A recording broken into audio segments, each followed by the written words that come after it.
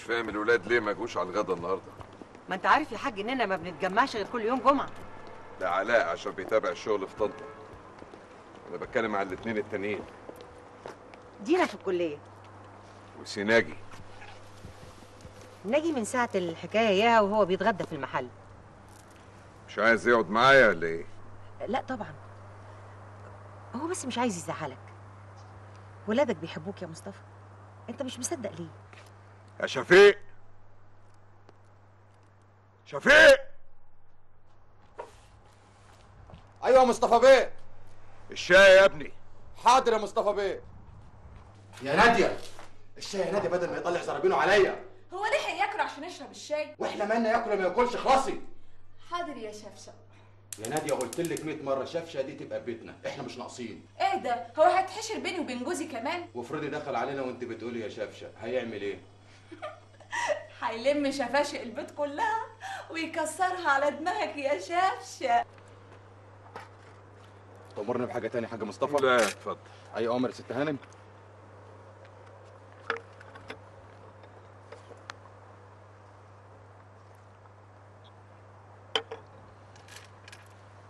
انت فاهمه اني بكره ولاد يا سوريا أنا بعمل كل ده عشان مصلحتهم. عايزهم يفهموا الشغل كويس ويقفوا على رجليهم عشان لما يجي اليوم اللي أسيبهم فيه. بعد الشر عليك. ده شيء مفروغ منه جاي جاي. عشان كده لازم يتعلموا إزاي يصونوا مالهم ويحافظوا عليه حتى لو قسيت عليهم شوية. ما تزعلش مني يا مصطفى. الحقيقة إن أنت قسيت عليهم جامد شوية لدرجة إن أنت ما خدتش بالك إنهم كبروا وبقوا في سن جواز والمفروض بقى نفكر نخطب لهم. يا ستي هم طلبوا حاجة وأنا امتنعت. ابنك الكبير طلبت معايا اتجوز وهو في الجامعة. وساعتها رفضت. لما كبر وبقى قادر يفتح بيت صرف نظر. والصغير ما انت عارفة مخه طائق خالص. المهم انت يعني انت موافق نجوزهم؟ ما أنا مجهز فيلا لكل واحد جنب الفيلا بتاعتنا. ناقص على الفرش وبس. هعمل إيه تاني؟ اشتغل خطبه يعني. لا عنك. سيب لي أنا الحكاية دي. أنا اللي هختار لهم. لا لا. سيبي كل واحد يختار بنفسه. عشان ما يرجعوش يقولوا إحنا السبب. ولما يختاروا صح وأنا وافق على اللي هيختاروها أنا يا ستي مستعد أجوزهم في أسبوع. ده أنا قدامي كذا عروسة. أنا قلت لك اللي في دماغي وأنت حرة.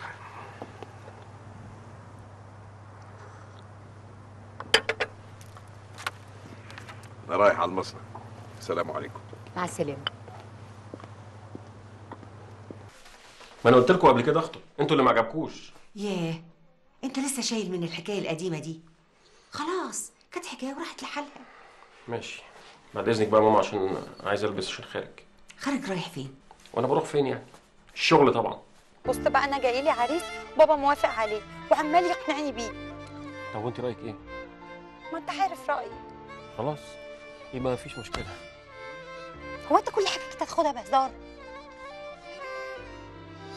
أنت عارف أنت قدم لي كام عريس لحد دلوقتي وأنا برفض. أنت عارفة أنا مش هقدر أتقدم لك وأنا لسه في الكلية. بعدين الحاج مصطفى عمره ما هيوافق. طب وبعدين؟ أنت مش بتحبني؟ ده سؤال برضو طبعا بحبك. طيب يعني ما استاهلش إن أنت تحارب شوية عشاني. أنا مدخلك الجامعة عشان تتعلم وتاخد شهادة ولا عشان تحب وتخطب؟ هو الحاج أصل لو سمعت لا أصل ولا فصل. مش عايز أسمع سيرة الموضوع ده تاني.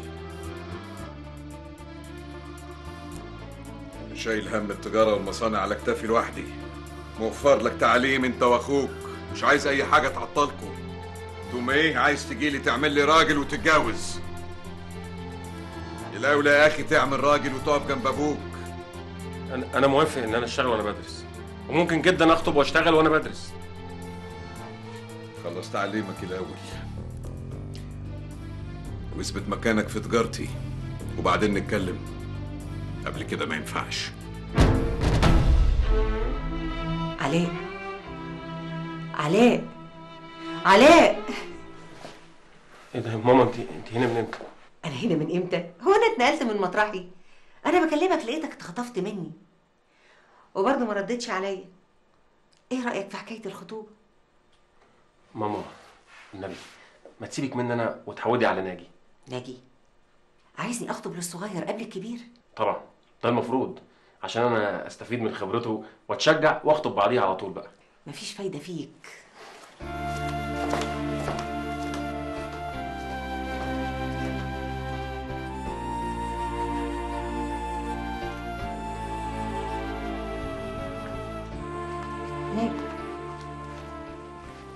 ممكن تبطل اللي بتكتبه ده شوية.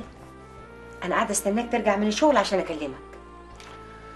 تصدقي يا ماما أنا ما صدقت أروح عشان أقعد أكتب شوية. ماما أنا عارف انت جاية تكلميني في إيه. سيبك مني خالص في الحكاية دي. كلمي علاء ولو أقنعتيه وعملها وخطب أنا هعمل زيه على طول. إيه ده؟ أنتوا بتحدفوني لبعض ولا إيه؟ أنا لسه ما شفتش حاجة زي دي. الشاب في سنكم بتبقى عينه على واحدة ونفسه يخطبها وبيحايل مامته عشان تتوسط له عند باباه. ماما أنا سايب الحكاية دي للنصيب. يا ابني النصيب ده للبنات. تقعد في البيت تستنى عدالها. إيه بقى؟ عايزيننا نخطب لدينا؟ وانتوا تقعدوا في البيت تستنوا عدالكم لما تتقدم لكم بنت الحلال؟ يا نجي أنا نفسي أفرح بيكم. نفسي أشيل ولادكم. قول لي بس يعني لو عينك على واحدة قول لي. ماما أوعدك أول ما عينيا تيجي على واحدة حضرتك هتكون أول حد يعرف. ده لما يحصل بقى إن شاء الله. توختوني انت واخوك. ولا أختك اللي ما جاتش لغاية دلوقتي رخص أنا عارفة راحت فين. طب أنا هقعد أكتب في الأوضة اللي جوه شوية. اتفضل. اهي جت. السلام عليكم. عليكم السلام ورحمة الله وبركاته. هلت الأنوار. كنت فين يا حبيبتي لغاية دلوقتي؟ يا ماما أنا كنت في المنصورة. كنت في المنصورة بتعملي إيه؟ في عيد ميلاد واحدة صاحبتي. أنت إزاي تسافري من غير ما تقولي لحد؟ يا حبيبتي أنا قلت لك الأسبوع اللي فات تلاقي حضرتك نسيتي. قلت لي من أسبوع إن انت هتسافري المنصورة وإن انت هتقعدي لغاية دلوقتي؟ أيوه. وأنا بقى اللي نسيت إن انت قلتي لي؟ ولا انت اللي نسيتي أصلا إن انت تقولي لي؟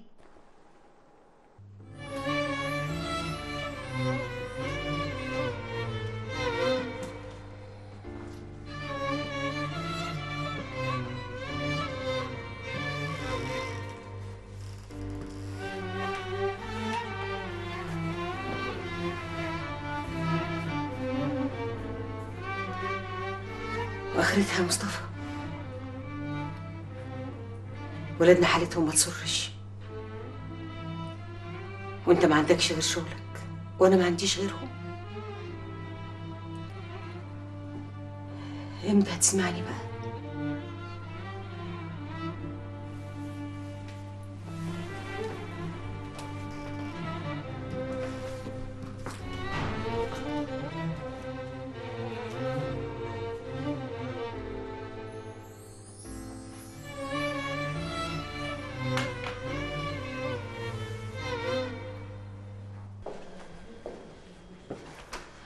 أنا خايفة حد يشوفنا. عشان كده يا نيجي قلت لك إن إحنا ما نتقابلش ابدا غير لما تيجي وتتقدم لبابا. تاني يا شروق الكلام ده؟ يا نيجي. نيجي أنا اتعودت إن أنا ما أخبيش عن بابا أي حاجة من أيام ماما الله يرحمها. اتعودت أنا وبابا نكون لبعض صفحة بيضة. الحاجة الوحيدة اللي أنا خبيتها عليه هو موضوعنا ده. يا شروق أنا عايز أتقدم لك. بس وأنا محقق نفسي وقادر أصرف عليكي وأصرف عليا. محقق ذاتك كمؤلف. مش كده؟ طبعا. مش مجرد موظف عند ابويا هي نيجي هو عيب إن أنت تكون موظف عند والدك. يا شروق أنا عايز أحقق ذاتي. عايز يكون لي كيان. مش مجرد تابع لأبويا. لازم أثبت لأبويا والعم ممدوح كمان. إن أنا قادر أصرف عليكي وأخد بالي منك. السلام عليكم. السلام ورحمة الله وبركاته. ازيك يا الحمد. لله على السلامة. أنت كنت فين يا ابني؟ إيه في حاجة ولا إيه؟ والله أنا خفت لا الحاج يطب علينا ولا يسأل عليك تحصل مشكلة من تاني. أنا أنا جيت أهو. أصل أنا طلبتك على الموبايل لقيته برن هنا في الدرج. آه ما أنا نسيته هنا يا عم ممدوح معلش. إيه اللي واخد عقلك. بتحبه ولا إيه؟ بحب احب إيه بس؟ وأنا فاضي للكلام ده يا عم ممدوح. طيب يا سيدي إحنا هنشرب شاي. تشرب شاي معانا. ماشي؟ ماشي ماشي هشرب.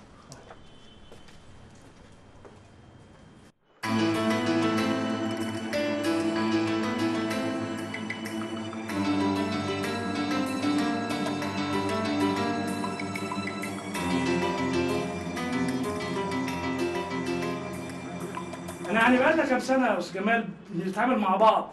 لا عمرنا اتكلمنا في سعر ولا بنختلف فلوس. الله الله الله. يا حاج سالم. أنت بتتكلم كده يعني لا مؤاخذة يعني زي ما اكون زعلان مننا. ما هو في الظرف ده المفروض تشيلوني أو تستنوا عليا. مش تعملوا كده. الله، أنا مش فاهم في إيه.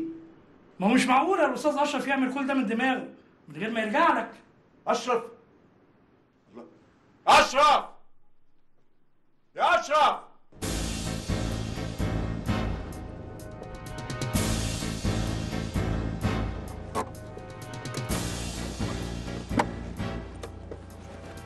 السلام عليكم. عليكم السلام. هي دي بقى يا سيدي أرض سمون هي دي أرض سمون يا صلاح بيه. معلم سالم يا أشرف بيتعامل معانا من سنين يا ابني. المفروض لما تحصل له أزمة نقف جنبه. مش نقول له هتدفع كل الفلوس يا إما مش هنتعامل معاك. أيوه يا بابا بس هو فلوسه مش جاهزة. ودي تجارة بيع وشراء. يبقى نشوف اللي فلوسه جاهزة ونبيع له. وأنا فعلا اتفقت على البيع. لا حول ولا قوة إلا بالله العلي العظيم يا رب. يا ابني الراجل بيتعامل معانا بالحلال يعني حرمة العيش والملح. وبعدين ما تنساش يا اشرف إن الراجل ده من بلدنا من هنا. انت بعت بضاعة لسيد بركة بتاع دمنهور من غير ما تاخد فلوسها؟ آه يا حاج اصله عنده مشكلة في السيولة اليومين دول. طب وإحنا مالنا ومال حاجة زي دي؟ ده زبون قديم يا حاج.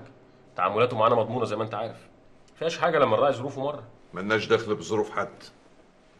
إحنا بنشتغل في تجارة يعني فلوس وبضايع. لو فتحت باب التسويف لكل واحد يقول لك ظروفي وما معيش سيوله مش هتخلص. هتفتح على نفسك أبواب طمع اللي حواليك وشغلك كله هيبوظ. محدش قال حاجة يا أشرف. طبعا صح نراعي شغلنا بس برضه جنب ده نراعي خواطر الناس يا ابني. التجاره مش بيع وشراء ومكسب وخسارة لأ لأ. التجاره يا ابني أخلاق كلام شرف. التجارة حرب يا ابني. القرش ليه شروطه وأحكامه. لو ما التزمتش بيها مش هتعرف تزوده ولا تحافظ عليه. لازم تعرف كويس إن القرش هو الأصل. أخلاقك هي الأصل يا أشرف. قيمك ومبادئك قبل مصلحتك قبل كل حاجة. مصلحتك فوق أي حاجة. السوق علمنا كده. بلدنا يا ابني علمتنا كده. مش كده ولا إيه؟ إنما يا صلاح بيه عايز أسألك سؤال لا مؤاخذة يعني. إشمعنى الأرض دي بالذات؟ وإشمعنى سمول؟ السؤال ده بقى بالذات ما تسألوش لي أنا. ده مش اختصاصي. أول ما تشوف الحاج سيد السموني ابقى اسأله. الشغل عاجبني الشغل عاجبني حقيقي. بس حضرتك عارف الناشر ما قدرش يغامر بفلوسه مع أنا آسف يعني مؤلف جديد. يعني مفيش أمل يا أستاذ خالد؟ لا أنا ما قلتش كده في أمل طبعا. إيه رأيك آه، ما تنشر على حسابك؟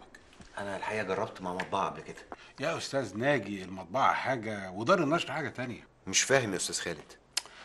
الإبهار يا أستاذ ناجي الإبهار. الكتاب زي أي سلعة عايزة تبهر اللي يشتريها. يعني شوف حضرتك بقى لما تعمل غلاف ألوان أو تتعاقد مع رسام كبير يعمل لك الغلاف هيبقى ليها وضع تاني. ده غير إن إحنا هنوفر لك ده كله مقابل إنك تنشر الكتاب و20% نسبة. يعني حضرتك تطبع الكتاب على حسابي وبعد كده تاخد منه 20% آه، حضرتك فهمت غلط. حضرتك اللي هتاخد 20% من ارباحه حضرتك بتقول إيه يا أستاذ خالد؟ أستاذ ناجي حضرتك منين؟ المحله من المحلة واسمك ناجي الدهان. آه قول لي يا أستاذ ناجي أنت تعرف آه الأستاذ مصطفى الدهان بتاع الملابس؟ ابنه. ابنه؟ يا راجل. ده الولد ممكن يعمل لك دار نشر. أرجوك تخلي مصطفى الدهان بره الموضوع يا أستاذ خالد من فضلك. على كل حال ما تزعلش ما تزعلش. الحكاية يا أستاذ ناجي هتكلفك 10000 جنيه. يا ابني يا حبيبي المسألة مش مستاهلة. إزاي بس يا أمي مش مستاهلة؟ الراجل اللي اتفقت معاه كان جاي يشيل بكرة. أقول له إيه؟ بابا مش موافق؟ بابا بيراعي الأصول. أيوه. وهي مش الأصول برضو إن أنا ألتزم بكلمتي مع الراجل اللي اتفقت معاه؟ ما أنت اتفقت مع الراجل من غير ما ترجع لأبوك. يا أمي وأنا من إمتى برجع له؟ ما هو طول عمره سايب لي المزرعة وأنا اللي بشغلها وأمشيها. لا عمره سألني بعت لمين ولا بكام؟ اشمعنى بقى دلوقتي؟ المال ماله يا حبيبي؟ ومن حكم في ماله ما ظلم. خلاص. ياخد ماله ويحكم فيه زي ما هو عايز بس ما يحرجنيش مع الناس. أشرف مش عايزاك تقول الكلام ده تاني أبدا. أنت عارف كويس قوي إن أبوك بيحبك وبيحترمك. فيها إيه يا ابني لما تضحي عشان ولو مرة واحدة بس؟ فيها إيه لما أنت تتحرج مع الراجل اللي اتفقت معاه؟ مش أحسن ما أبوك يتحرج مع الراجل اللي استنجد بيه؟ خلاص. ويحرجني أنا. بقول لك مش هيتحرج يا فاطمة. يا فاطمة؟ طب قول لي انت بقى الطلبية اللي عاملها مع التاجر هيجيبها منين؟ من مزرعة العمده يا فاطمة. يا فاطمة. أنا اتفقت مع الحاج منصور على كده وزمان العمال دلوقتي بيحملوها. أنا مرضاش إن ابني يطلع صغير قدام الناس. يا سلام. ولما انت عارف يا أخويا كل الكلام ده ليه ما فطمتوش وقلت له كل ده؟ ها؟ لو قلت له بنفسي يبقى أنا راضي عن اللي قاله أو بكافئه عليه. لكن لما يعرف من بره يعرف كويس قوي أنا عملت كده ليه. يا سبحان الله. على رأي المثل. أسمع كلامك أصدقك. أشوف أمورك أستعجب. الله. وبعدين يا بطه وبعدين مش كده أمال. بكرة هيجي ويتدخل لنا في الشغل. طب وفيها إيه؟ ما الشغل في المزرعة ماشي زي الساعة. وأنت ما شاء الله قايم بيه صح. أيوه. بس الصح يا مختار. له كذا طريقة. تقصد إيه؟ أقصد إن حضرة الناظر هيغير النظام هيقلب الدنيا. ساعتها بقى هنعمل إيه؟ معلش أنت برضو لازم تقدر ظروفه. مسألة المعاش دي مأثرة عليه. ولا أنت يرضيك إنه يحس إنه على الهامش في كل حاجة؟ لا يا سيدي ما يرضينيش إنه يبقى على الهامش. أبقى أنا على الهامش. هيبقى شكلي إيه قدام التجار والعمال اللي أنا بتعامل معاهم؟ بالتالي أهم حاجة بالنسبة لك هي راحة والدك. ولا أنت ليك رأي تاني؟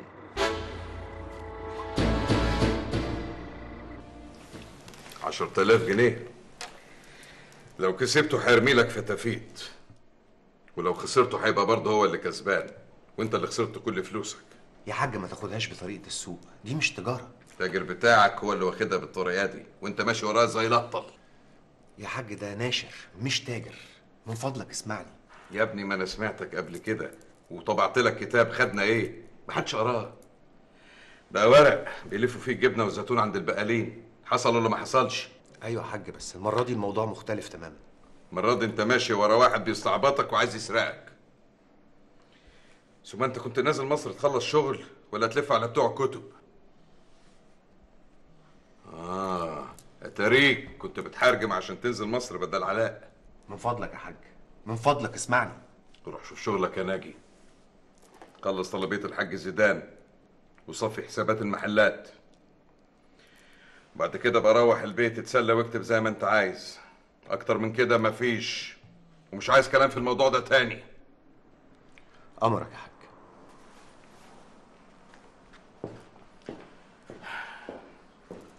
العموم عايز أتجوزه مال.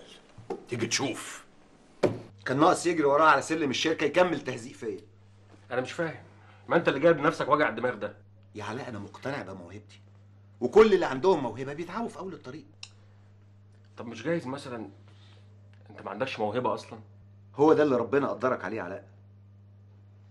ممكن ما تتكلمش معايا في حاجة أنت ما بتفهمش فيها أصلا. أنا ما بفهمش في حاجة يا ناجي؟ بتفهم أنت في الفن والأدب مثلا؟ زيك زي أبوك زيكم كلكم. ولا أنتوا فاهمين أي حاجة.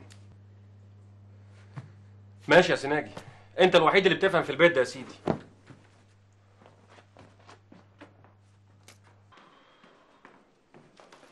عملت إيه يا علاء؟ ما عملتش. أنا خارج عندي مشوار. طب استنى بس. مش تقول لي أخوك قال لك إيه؟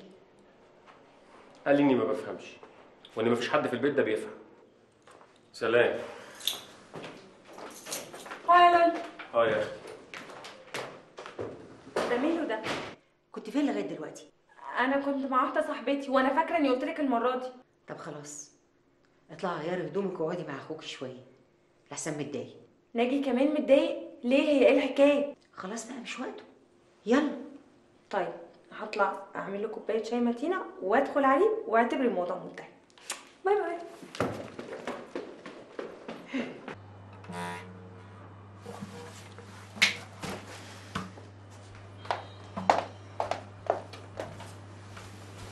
اشرب الشاي الشديد ده بقى وانسى كل همومك. أنا عاملة لك بايدي شخصيا.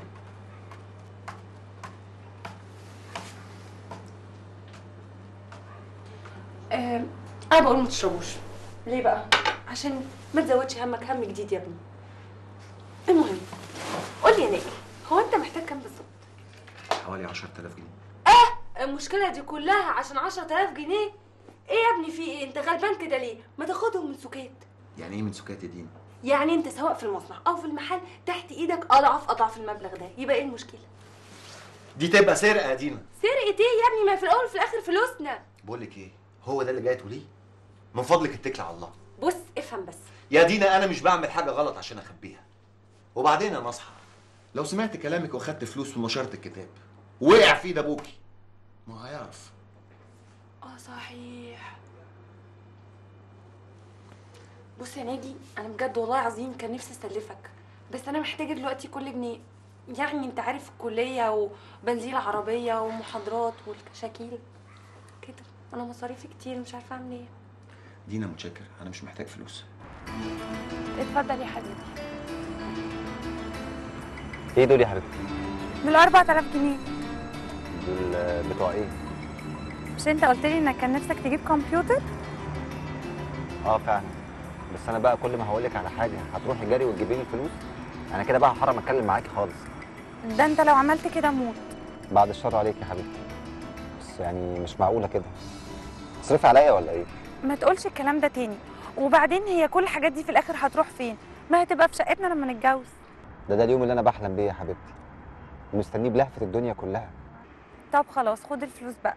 أنا هاخدهم عشان ما أزعلكيش بس دي آخر مرة. هتاخد الفلوس ومن غير شروط. وبعدين الفلوس دي آخر حاجة تفكر فيها. أستاذ علاء.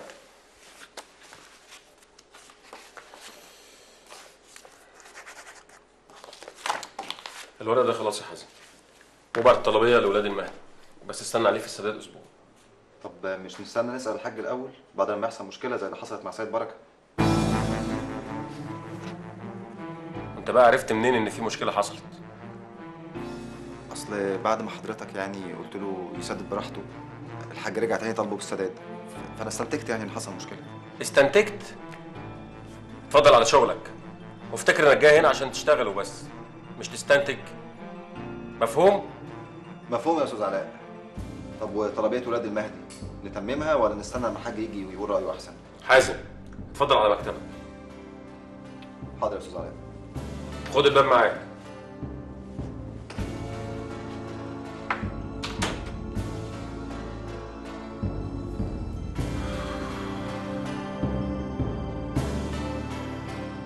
اللهم صل على النبي. عليه الصلاة والسلام. يا سلام. الواحد أكل لما شبع. الهنا والشفا. يا. ريت تكتر لنا من العزومات دي يا عم منصور. من عينيا. ربنا يجعله عامر يا حاج منصور إن شاء ربنا الله. يخليك. أنت منورنا. ربنا يكرمك يا رب. قول لي يا عاطف أخبار المدرسة إيه يا ابني؟ الصراحة الصراحة يعني مضلمة من غيرك. يا راجل. ربنا يبارك فيك يا ابني ويخليك. مش المدرسة بس. آه. مجلس سمول كمان كان مضل. ربنا يكرمك يا حاج منصور. امال عصام فين؟ أنا ما شفتوش النهارده. إيه يا جمال يا أخويا؟ افتكر لنا حاجة عدل امال عصام ده ماشي على كيفه وما بيسمعش كلام حد. أكتر واحد تعبني في حياتي. أنا مش عارف الواد ده مش طالع لإخواته ليه. معلش يا حاج ما تقلقش. إن شاء الله هيبقى كويس. يا عم جمال. أه بقول إيه يا منصور؟ أنا لاحظت إن في ناس غرب عن البلد كانوا عند أرض بحر بيعينوها. انت ما عندكش فكرة ولا إيه؟ لا في الحقيقة ما عنديش فكرة ولا حاجة. وبعدين هم هيعملوا بيها إيه يعني؟ هياخدوها ويمشوا. دي أرض إصلاح زراعي يعني أرض حكومة. الله أكبر يا منصور. وده اللي يخوف يا حبيبي. الله السرقة في الحالة دي أسهل. إزاي الكلام ده يا بابا؟ يا ابني يا حبيبي لو حد سرق أرضك يا ابني هتدافع عنها بالقانون. إنما لو الأرض مشاع مين اللي هيدافع عنها؟ خصوصا لو كان اللي حاميها حراميها. عشان كده الحكومة نازلة خصخصة. عايزة تعدل الحال المايل. حطي الشاي يا أم سيد شكرا اتفضلي شكرين يا سلمى. بل كده ما نشرب شربات فرح إن شاء الله. شكرا يا عم جمال. اتفضل يا أستاذ جمال. اتفضل. اتفضل يا اشرف اتفضل يا اشرف إيه يا عاطف مش هنفرح بخلافكم ولا إيه؟ آه آه طبعا. آه طبعا إن شاء الله يا عم جمال إن شاء الله. يعني حبكت الرسالة الليلة دي. أنا كنت لابسة ونازلة جاية لكم يا عاطف. جالي تليفون من المستشفى حالة طارئة. أيوه حبيبتي يعني هو مفيش حد لحالات الطارئة غيرك. دي كانت عملية يا عاطف والمريض حالته خطيرة. يعني كنت أسيبه يموت يعني عشان خاطر أحضر العزومة. على العموم يا سيدي أنا هكلم عم منصور واعتذر له. وهكلم بابا كمان. هم هيقدروا ظروفي يا عاطف عارفين اني مشغولة. يا سلام يعني كلهم مقدرين ما عدا أنا أنا ما قلتش كده. ماشي. بس عشان تبقي عارفة بقى مش كلهم مقدرين ظروفك زي ما انت فاهمة. وإلا ما كانش والدك سألني على الخلفة يا دكتورة.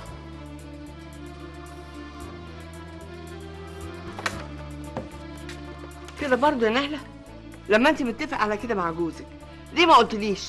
اللي حصل بقى يا ماما. ماما من فضلك كلمي بابا. أنا هتكسف أكلمه في حاجة زي كده. وبعدين أنا مش ناقصة مشاكل مع عاطف. وليه المشاكل يا بنتي؟ الله! راضي جوزك يا حبيبتي. وزي ما قلت لك قبل كده هاتي الحقيقة أنا اللي هربيه يا حبيبتي. مش هتحسي بأي حاجة ابدا. ما ينفعش يا ماما. حضرتك عارفة أنا فاضل لي قد إيه واناقش الرسالة؟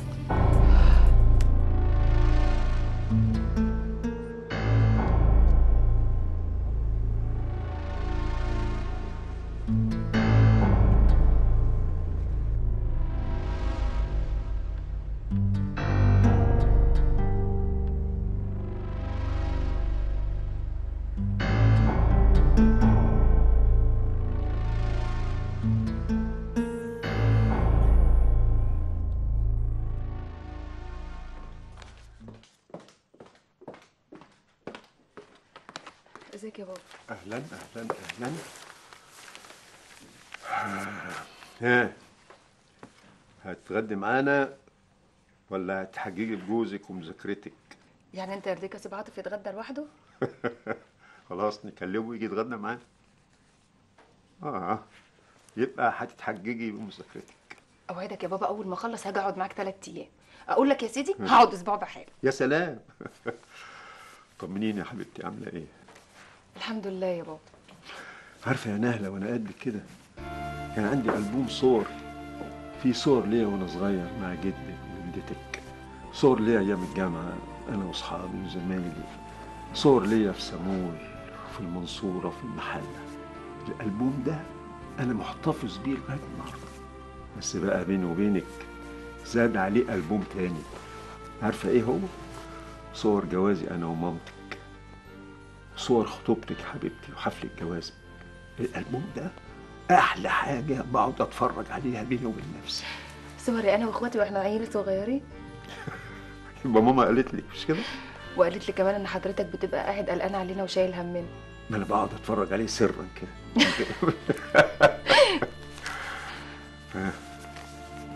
ما عادش الأوان بقى.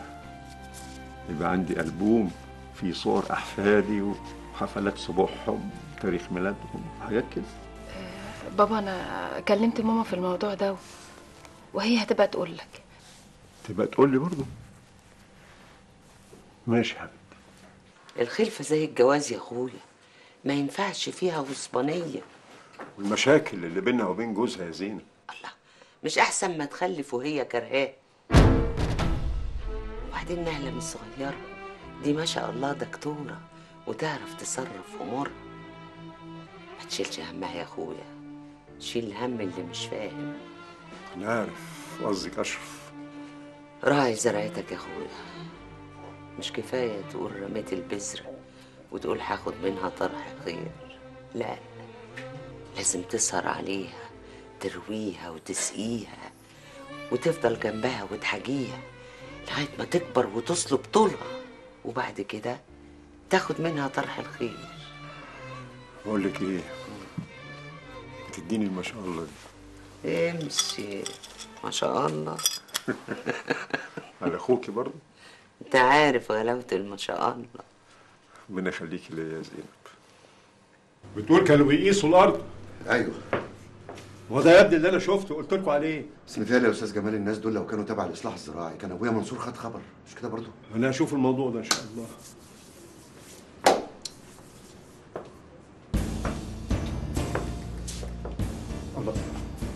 العيال دول قاعدين ليه؟ بقى أكيد عملوا اللي في دماغهم. وإيه اللي في دماغهم يا مختار؟ بتتكلم عن إيه يا ابني؟ الأستاذ جمال جاي يا جماعة. هنعمل إيه؟ ولا حاجة. محدش يعمل حاجة. خليكوا قاعدين مكانكم. ولا تلموا حاجة من على الشجر. اقعد مكانك.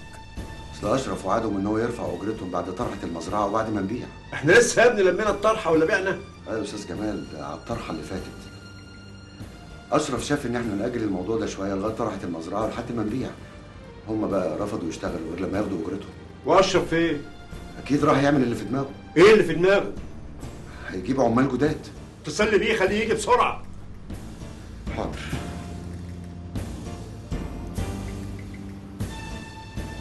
أيوه يا أشرف. أنت فين؟ الأستاذ جمال عاوزك. طب يلا بسرعة.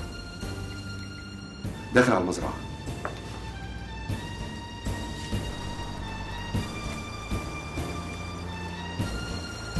يا حاج يا حاج إيه اللي بتعمله ده؟ زي ما كنت بعمل أول ما نشأ في المزرعة بشتغل بإيدي. ما يصحش كده يا حاج. أنتوا على ما تلموا شجرتين هنخسر بقية الطرحة كلها. ما هو يا تمد إيدك معايا يا أشرف يا تتكل على الله ما تعطلنيش. بيتهيألي نخسر الطرحة بارادتنا أحسن من نخسرها غصب عننا. هو مختار فهمها على الله تفهمها أنت الآخر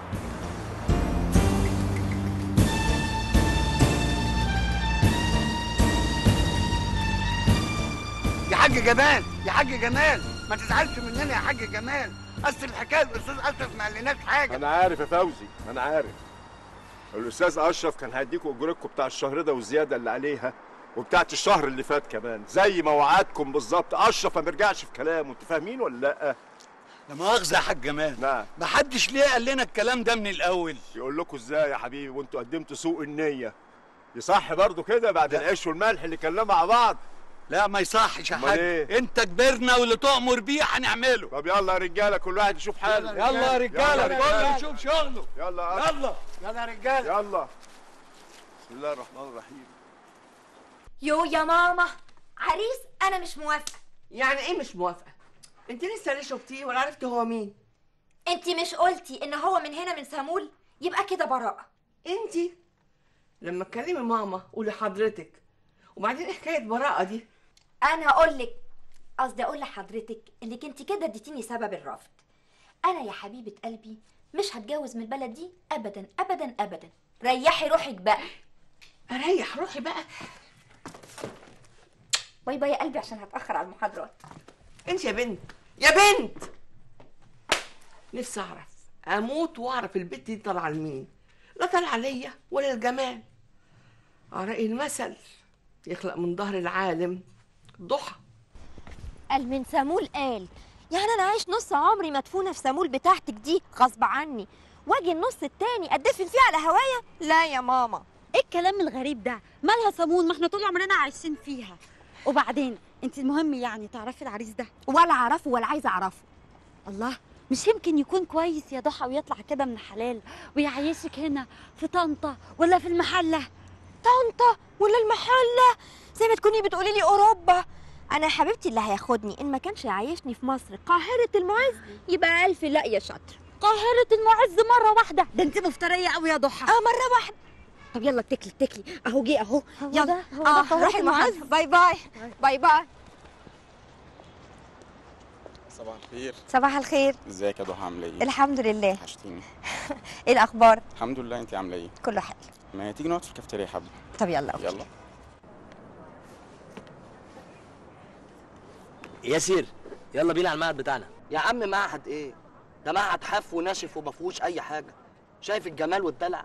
عمرنا ما هنشوف حاجة كده هناك. لا أنا بشوف في سمول بقى. آه يا فقري هتشوف حاجة كده هناك؟ دي بقى من هناك. يا راجل. دي بنت خالي زاهر. خالك زاهر مين؟ أنت هتستعبط. خالي زاهر اخو من عماد. خلاص يا عم ما تزقش. ياسر يلا بينا بدل ما بتوع الأمن يطلعوا يعملوا لنا مشاكل ها؟ أنا مش ناقص. يا عم عيب عليك ده أنا برنس وأنت برنس. وبعدين أنت حد يهددك؟ ده أنت ابن العمدة. يا عم ابن العمدة ده هناك مش دلوقتي. آه، يلا بقى دي راحت عليها زي ما راحت على سمول. يلا بينا. بكرة يا أخويا نسيبها خالص. يعني إيه رفض العريس يا فضل؟ والله هي كل مرة ترفض العريس كده من غير ما تشوفه؟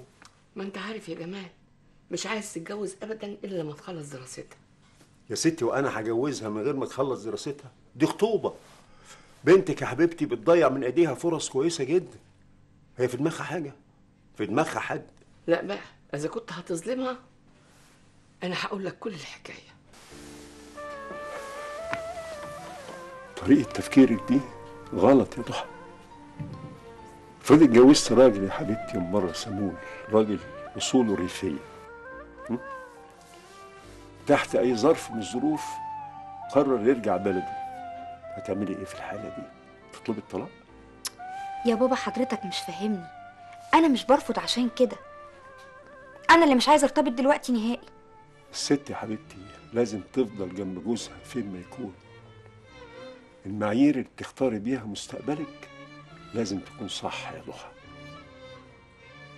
واللي هتعرف حياتك حبيبتي. فكري في كلامي ده كويس قوي ربنا يخليك ليا يا بابا.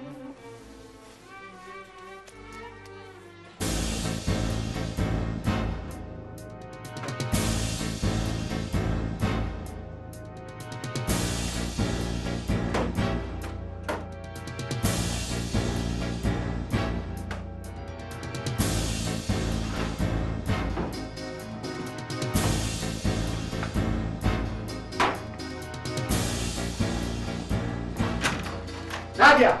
شفيق. نادية. شفيق. نادية. خير يا سيناكي. مين فيكم اللي دخل أوضتي واخد الورق بتاعي النهارده؟ ورق؟ ورق يا سيناكي؟ أنا ما دخلتش أوضتك النهارده خالص يا سناجي يعني أنا بيتهيألي ولا شكلي اتجننت يعني؟ إيه يا ناجي؟ بتزعق ليه؟ ما فيش حاجة ماما. علاء. علاء. إيه اللي معصبك كده يا ابني فين علاء يا ماما؟ يا ابني بتزعل ليه؟ في إيه؟ علاء فين الورق بتاعي؟ ورق إيه؟ من فضلك مش عايز الحركات دي يا علاء فين الورق بتاعي؟ حركات إيه يا ابني؟ أنا مش فاهم حاجة. في إيه يا ماما؟ كلمني أنا علاء أنا بكلمك يا ابني ومش فاهم منك اي حاجة. إيه يا علاء؟ اتفقت مع الحاج علاء ولا إيه؟ اتفقوا على إيه بس يا ابني. الأستاذ أخد الورق بتاعي وخباه يا ماما. ورق إيه؟ قصص يا ماما اللي أنا كتبتها. قصصك؟ وأنا ههبب بيها إيه؟ عايز أفهم.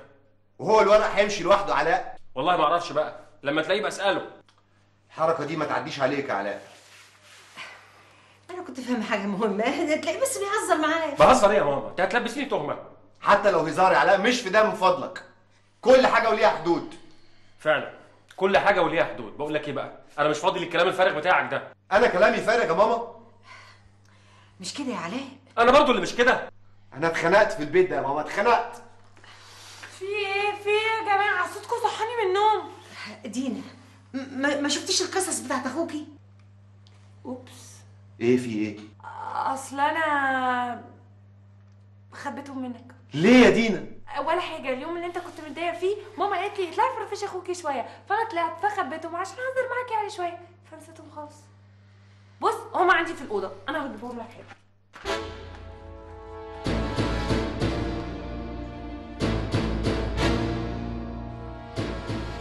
يعني رحنا المعهد وجينا وضه لا حضرنا المحاضرات ولا كتبنا المذكرات ولا صورنا أي حاجة. يا عم بكرة ولا بعده هي الدنيا هتطير بس كان يوم حلو ما تنكرش.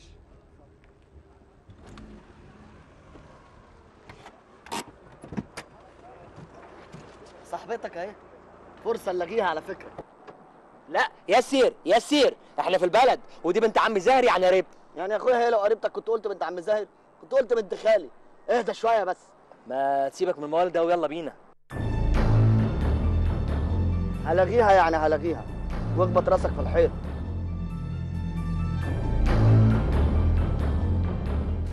يلا يا مساعد هاتي بقية الأكل اللي عندك. على بال أنا موظف هنا.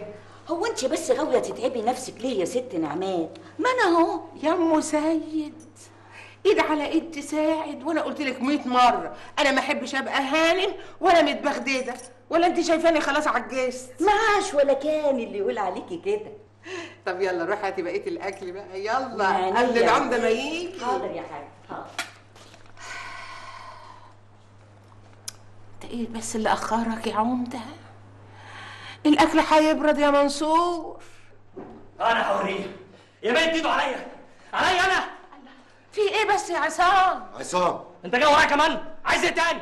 في إيه؟ آه، ابدا. دي حكاية بيني وبين عصام. ما تقول لها قول لها الأستاذ ضربني بالقلم قدام الناس!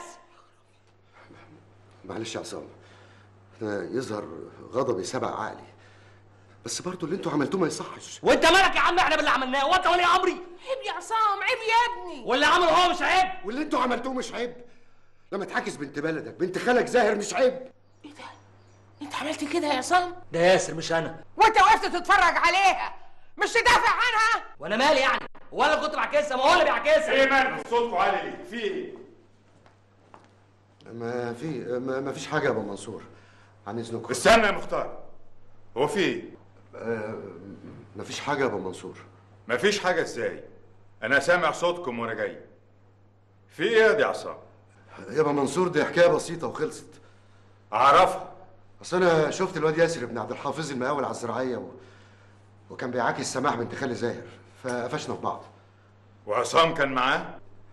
أيوه بس عصام ملوش دعوة. ملوش دعوة إزاي؟ دول أصحاب وما بيفرقوش بعض. أكيد كان معاه. الكلام ده حصل يا واد يا عصام؟ اللي حصل إن الأستاذ ده مد إيده على ابنك ها؟ وضربه بالقلم قدام الناس. دي أقل حاجة يعملها يا قليل الرباية. أبو منصور.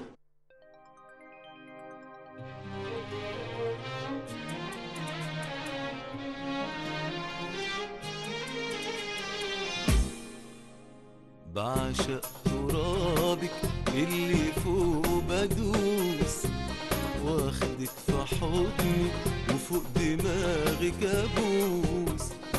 أنا اللي بيك مغرم مهووس وأنت اللي فيا أغلى شيء أغلى شيء موجود.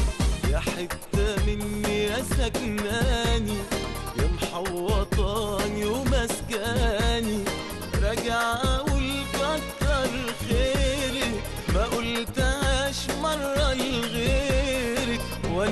وأنا لا جاحد ولا نمرود يا اغلى شيء موجود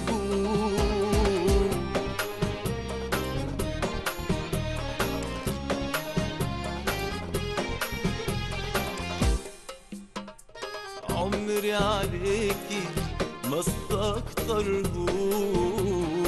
لو ده اللي حيلتي ما أخرهوش. عمري عليكي ما استكترهوش لو ده اللي حيلتي ما أخرهوش. حبك في قلبنا أنا ما اخترتوش. حبك في قلبنا أنا ما اخترتوش. وده شيء لقيتني بيه لقيتني بيه لقيتني بيه مولود